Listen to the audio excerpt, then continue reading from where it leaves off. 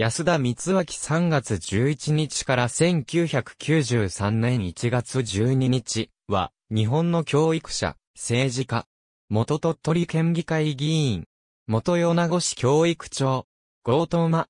地方教育行政の用として、野坂幹事市長の元教育基盤の確立に尽力。米子市独自の教育立地計画を樹立することが、寛容と6年間にわたり、現場教職員と一体となり実態調査を実施。その結果を4冊にまとめ逐次刊行した。このことは全国的に注目された。また、全国の都市教育委員会の教育長に呼びかけて、全国都市教育長会を結成し、地教委本来の使命達成に努めた。その他、県立移管となった私立米子高等学校の開設、米子市小学校再配置計画の立案実施を行った。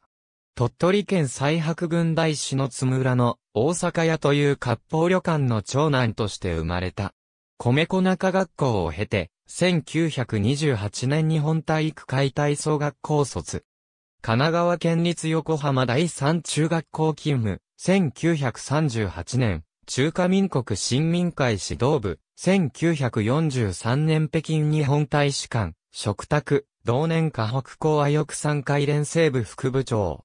その間大日本武徳会下北総本部常任理事、大日本体育会下北総本部常任理事、河北港和青年同盟連西部長を歴任、終戦により引き上げ。